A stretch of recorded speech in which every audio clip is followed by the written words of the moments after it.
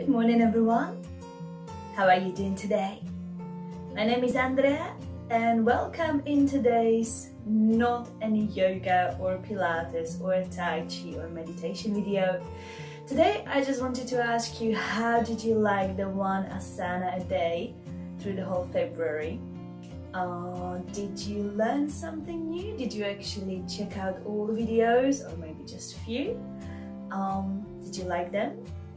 Which one did you not like?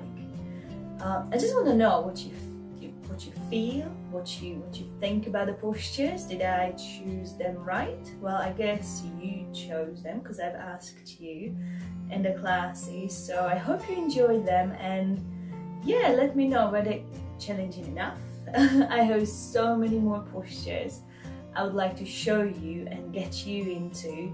So just let me know if you want to have some more of these kind of videos. Um, which postures would you like to know or get to know or get into?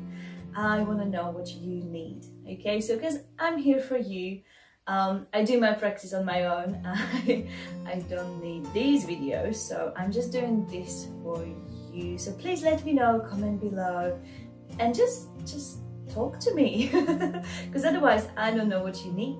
Okay, so if you haven't subscribed to my channel yet, please do so, and keep watching, keep trying, keep practicing, and keep smiling and enjoy enjoying every practice every breath